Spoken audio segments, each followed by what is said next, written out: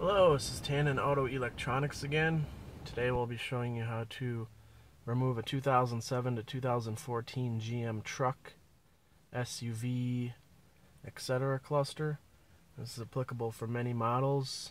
Uh, this particular model is a Suburban, but all the clusters are the same from 2007 to 2014. So first step is to use a flat blade tool again and pop this um, vent assembly out of the dash.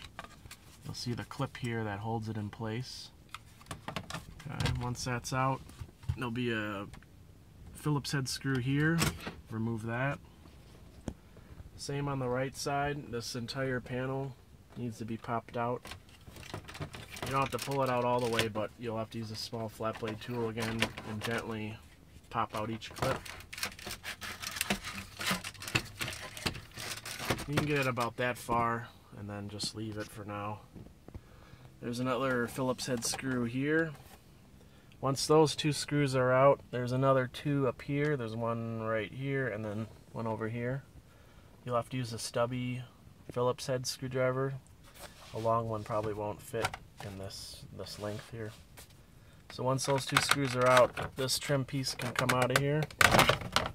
Just pop straight out. And then you'll have the cluster, which has four screws. I believe they're seven millimeter again, just like everything else that we've been doing. Two on top, and then two underneath behind this trim panel. And the next video segment will show you how to pop this trim panel out, but again, it's just, it's clipped into the cluster. The best way to get this trim piece out is to insert a flat blade tool right around this area and then pop straight out, you'll see there's a, um, maybe not, turn on flash here.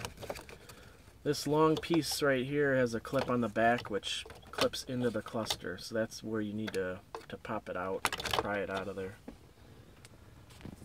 Same thing on the other side. There's a long clip that goes into the cluster right there, and then you'll see the screws on the bottom top will just pop right out easily. Probably don't even need a tool for that. Um, like all the other clusters, it's probably a good idea to put the shifter into low gear so you can get the trim out of there like that.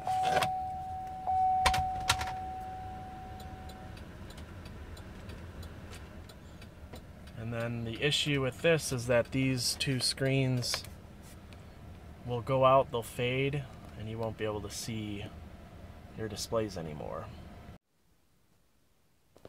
Okay, we've removed the screws in the cluster, two on this side, two on the right side.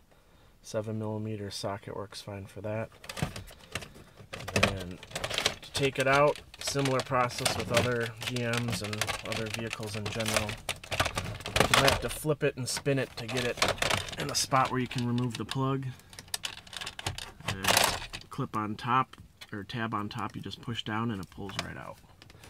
Now other issues with these are complete power loss, where nothing works at all, gauge issues, where certain gauges don't work, um, but most commonly it's the displays that go out and we can repair that with no problem. If you do have other issues, more serious issues, we can attempt to repair them. Otherwise, we also offer plug-and-play replacement clusters where we'll program the mileage and the, um, the VIN information right into the cluster and you just plug it in. So thanks for watching. Again, we're Tanin Auto Electronix. You can contact us at 262-456-4147 or www.taninautoelectronix.com and we look forward to helping you with any issues that you have. Thanks for watching.